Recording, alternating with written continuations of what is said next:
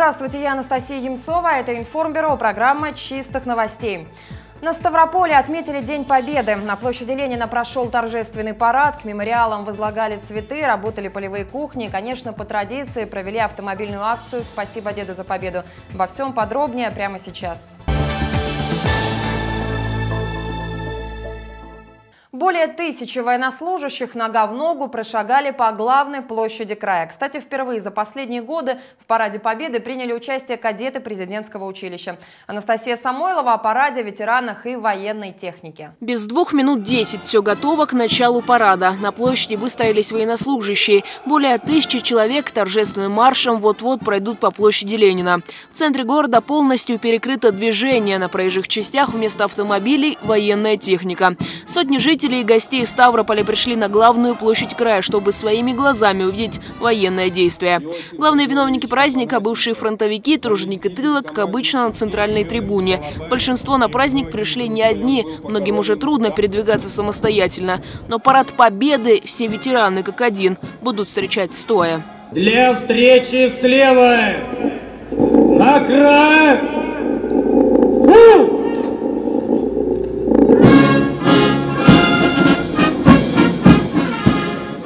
Военного шоу на площади уже потом делились зрители, мурашки шли по коже.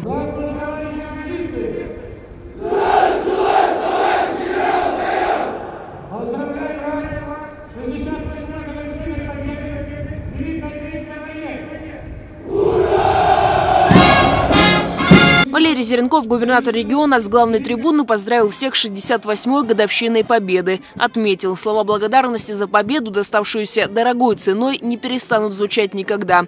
Подвиг миллионов человек не забыт. За мирное небо над головой боролись и ставропольцы. Мы гордимся тем, что среди воинов, освободивших мир от фашизма, много наших земляков, ставропольцев, которые на полях сражений и тылу ковали великую победу. И со всех видов оружия стали стрелять. И крик «Война закончилась» и так дальше. И, понятно, вверх. Полились из автоматов, винтовок и так дальше. Вот это было 9 мая 1945 года. Степан Александрович Шишов очень хорошо помнит тот день, когда узнал, что враг побежден. О том страшном времени ветеран может рассказывать часами. Ему было всего 15, когда грянула война. Он участвовал в боевых действиях по освобождению Украины и всеми силами, как мог, приближал День Победы. В этом году, рассказывает Степан Александрович, не удалось попасть на парад. Собирается смотреть его по телевизору.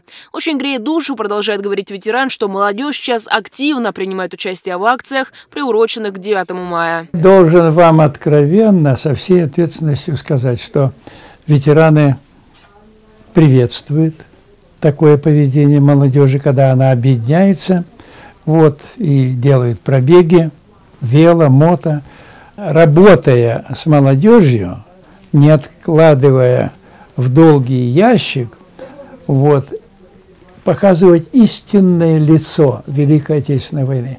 Если честно говоря, я вот молодежи всегда при встрече говорю, что по-настоящему ведь сам фактор Великой Отечественной мало описан, я бы сказал.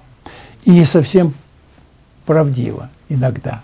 Между тем, на площади Ленина продолжался парад. Проследовала военная техника. Бронетранспортеры, ракетные системы залпового огня, автомобили УАЗ и КАМАЗ и зенитные установки.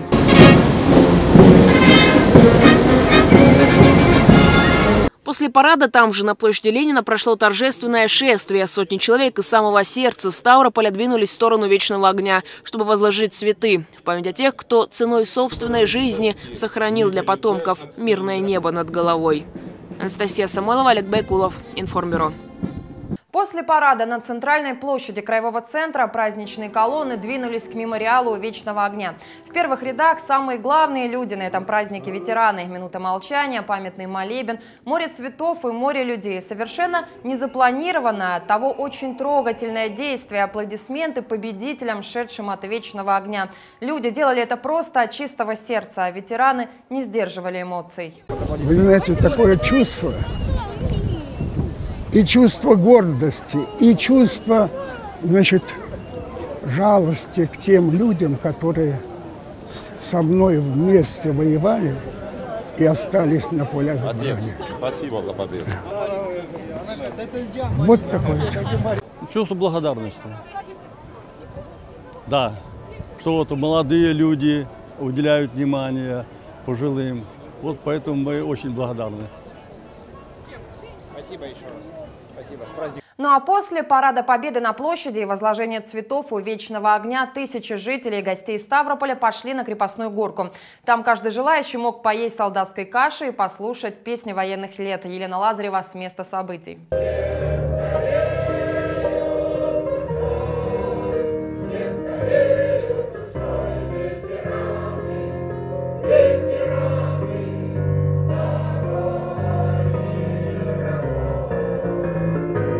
Крепостная гора на сцене Герой Победы. Основные слова «не стареть душой». И так считает каждый, кто поет в хоре ветеранов войны и труда. Больше 30 лет участники войны выходят на эту сцену. Репертуар один и тот же. Песни фронтовых лет. Григорий Абрамович рассказывает, поет не только на публике, но и дома, вспоминая военные годы. Песня, говорит, поднимает дух и не дает унывать. Когда мы поем, мы сами получаем огромное удовольствие. Во-первых, от общения с людьми, от того, что мы можем людям преподнести. Вот э, хорошие песни, наши военные песни. В этот день сотни людей пришли послушать песни из жизни сороковых. У кого-то слезы на глазах, ведь там на войне погибли близкие. У кого-то улыбка от счастья, ведь именно эта победа подарила нам мирное небо над головой. Песни военных лет, уверен губернатор края, должен знать каждый патриот страны. Вот надо учиться молодежи, нам с вами. Я советую, учитесь жить вот так красиво. Вот так, чтобы, знаете, жизнь не заканчивается только работой и пенсией, а надо продолжать трудиться. А минутами позже городские артисты представили сцену «Один день из жизни участников войны». Как жили, о чем мечтали и как ждали весточки от родных. Воянов! Арадин! Петров! Короткова! В это же время на крепостной горе развернулся солдатский привал с полевой кухней, где каждый ветеран мог вспомнить вкус солдатской каши и поднять фронтовые 100 грамм. С Днем Победы! Петр Максимович вспоминает, голод был страшный, ели что придется. Иногда траву варили, а порой приходилось и кости грызть. Полевая каша считалась чуть ли не деликатесом. Правда, вкус, говорит, не сравнить, какой был в годы войны и какой сейчас. Конечно же, не похоже. В то времена, конечно, какая она была, наверное, сварена, наверное, на воде. Где же там было? Что там?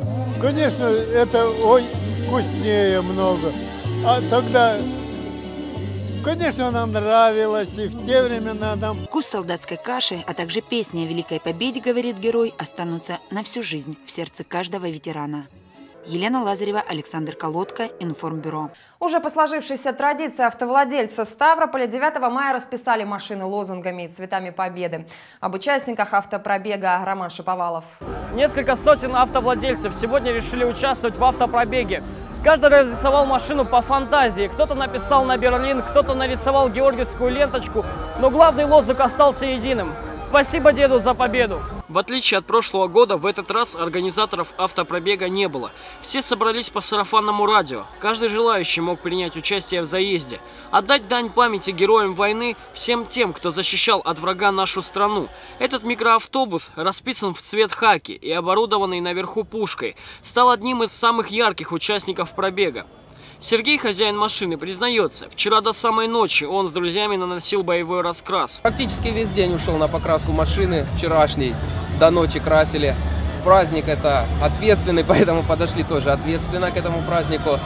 Всех с праздником, с Днем Победы! Каждый оригинально подходил к украшению своей машины. Вот, например, Вадим на авто немецкого производства написал «трофейный». Он с друзьями участвует в автопробеге уже не впервой. Говорит, о Великой Победе надо помнить и гордиться героическими подвигами наших предков. Для меня это великий праздник. Очень хорошо, что здесь собрались люди, чтобы почтить память, чтобы устроить праздник в нашем городе. Сергей один из немногих, кто решил не красить машину, а наклеить аппликацию в виде ордена Героев Отечественной войны. Считает, вид машины должен должен быть достоин победы наших ветеранов. Вообще для меня праздник значит очень многое, как бы память нашим старикам, мы посвящаем этот автопробег им, что мы помним их доблесть, их победу, э, то, что мы свободная теперь страна, благодарим им. Собираюсь ехать, в принципе, по всему автопробегу. Надеюсь, закончить где-нибудь подальше. Но не все сегодня сели за руль машины. Участниками автопробега стали и велосипедисты. Большой колонной они отправились с флагами по улицам краевого центра. Традиционно ребята вот так э, выражают свое уважение э, тем, кто воевал. И э, мы как бы помним память э, павших. Для нас, лично для меня, это самый великий день.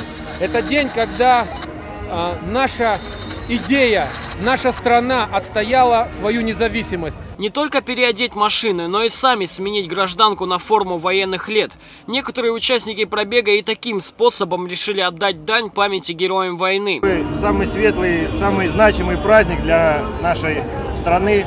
Э, такое количество людей собралось э, именно для того, чтобы именно молодых, молодых людей, да, что, помнят, что самое важное. Они помнят, э, они знают из рассказов своих дедушек, бабушек, Э, у меня тоже дедушка воевал, поэтому э, я очень горжусь этим событием, этой победой. Я думаю, вот таким э, сборами мы показываем, что действительно Россия едина. Ура! Ура! Участники автопробега отправились по всем центральным улицам Ставрополя. Финишировали, как и в прошлом году, у мемориала «Танк». Роман Шаповалов, Николай Попов, Информбюро. Все видео нашей программы вы сможете найти на сайте stv24.tv, телефон нашей редакции в Ставрополе 35 13 45. Звоните, мы обязательно откликнемся. Ну а я, Анастасия Емцова, на этом с вами прощаюсь. Увидимся. Thank you.